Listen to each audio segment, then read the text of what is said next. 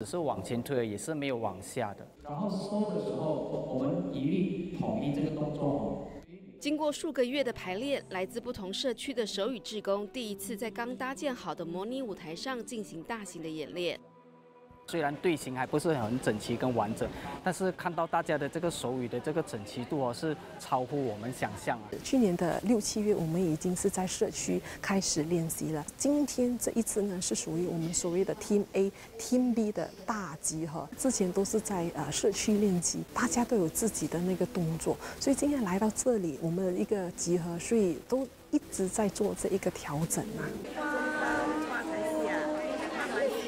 距离九月的公演是越来越近，职工们把握分秒，连小休时间都在积极排练。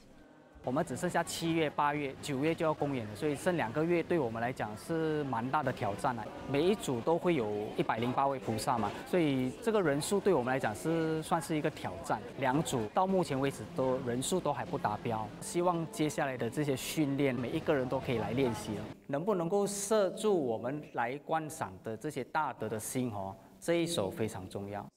参与金杖演绎的职工们来自各行各业，要集合大家一起排练，成为一大考验。但指导职工的无私付出与坚持，鼓舞了现场的每一个人。他们就是为了我们，就一直走上走下，所以我心中的满满的感恩要感恩你们大家。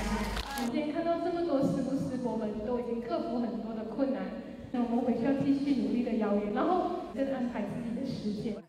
尽管过程挑战重重，在经过一连串的读书会和艰苦的排练之后，大家有信心，势必在演出后能够引起一定的回响。大爱新闻之声美之工马来西亚综合报道。